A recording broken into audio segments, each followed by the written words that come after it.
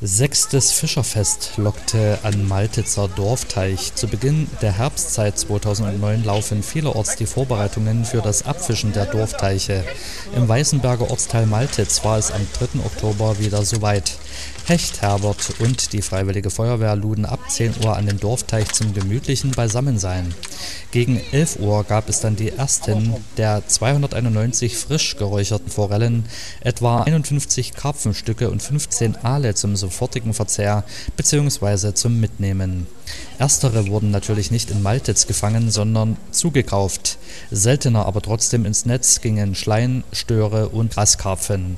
Für die ebenfalls angebotene leckere Fischsojanka hatten ja bereits zwei Wochen zuvor die Kids beim Kinderpreisangeln gewaltig was an Land gezogen.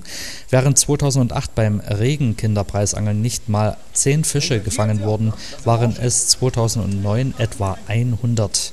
Für alle, die in diesem Jahre leer ausgingen und keinen Fisch abbekamen, heißt es im nächsten Jahr rechtzeitig vorbestellen